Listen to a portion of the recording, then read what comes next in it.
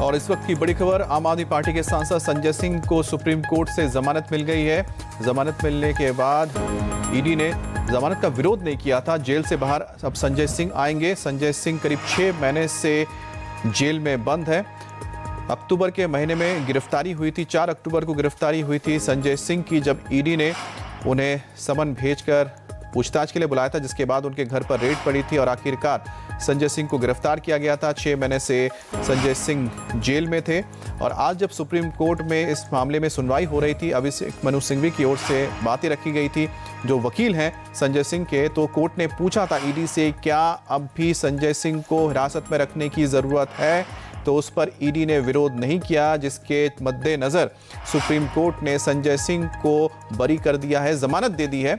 इस मामले में जमानत दे दी है और ईडी ने इस जमानत का विरोध नहीं किया था। तो इस वक्त की ये सबसे बड़ी खबर है कि जहाँ एक तरफ़ पार्टी के मुखिया अरविंद केजरीवाल तिहाड़ जेल में बंद है, शराब घोटाला मामले में, वहीं संजय सिंह को कोर्ट से जमानत मिल गई है। सुप्रीम कोर्ट ने जमानत दे दी थी और पिछली सुनवाई में संजय सिंह के लिए पेश हुए थे उनके वकील अभिषेक मनु सिंह भी और उन्होंने मुख्य गवाह दिनेश अरोड़ा ने पहले अपने बयानों में संजय सिंह का नाम नहीं लिया था। सिंघवी ने कोर्ट में कहा था कि अप्रूवर की गवाही तक, तब तक विश्वसनीय नहीं है जब तक कि उसकी पुष्टि ना हो जाए।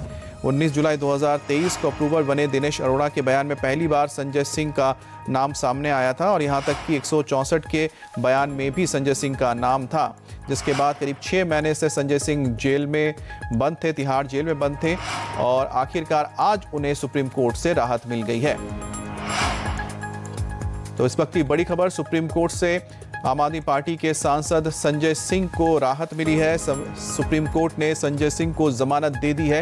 ईडी ने बड़ी बात है कि विरोध नहीं किया है इस जमानत का, क्योंकि ईडी से सवाल पूछा गया था सुप्रीम कोर्ट की ओर से जो जज थे, उन्होंने पूछा था, क्या संजय सिंह को अभी जेल में रखने की ज़रूरत है, जिस पर सुप्रीम कोर्ट में ईडी की ओर से विरोध नहीं किया गया और आखिरकार छः महीने बाद अब संजय सिंह जेल से बाहर आ रहे हैं। संजय सिंह को जमानत मिल गई है।